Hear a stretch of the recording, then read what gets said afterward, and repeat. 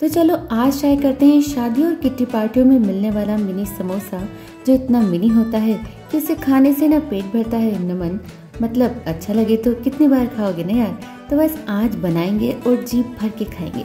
उबले हुए आलू में सारे मसाले मिलाइए और इसमें साबुत धना और सूखी लाल मिर्च को हल्का सा क्रश करके डालिएगा।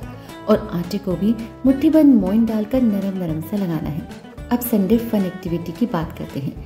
इसी मंथ में मेरा बर्थडे आने वाला है। आपको गेस करना है कि मेरी बर्थडे डेट क्या है। सही गेस करने वालों के नाम का पिक शाउट आउट होगा कम्युनिटी पोस्ट पर ऑन माय बर्थडे तो खाइए गरम गरम समोसा और गेस करिए मेरी बर्थडे डेट